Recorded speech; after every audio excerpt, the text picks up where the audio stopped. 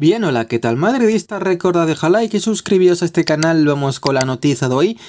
Bombita de José Félix Díaz con el tema Haaland, porque dice una cosita muy interesante. Esto ha dicho Rafael La Pimienta, que es la representante actual de Haaland, me contó en Mónaco que Haaland eh, siempre tendrá una opción de salida disponible.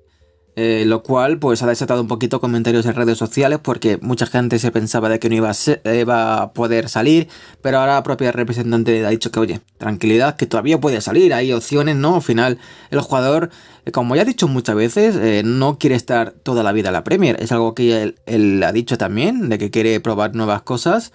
Así que es verdad que la opción salida de Haaland del City es algo posible.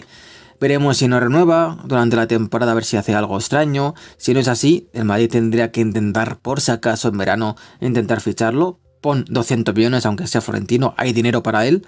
Eh, es mucho, lo siento, pero necesitamos un 9 y sería el perfecto, sinceramente. Pero bueno, veremos qué hace el Madrid, si lo quiere o no.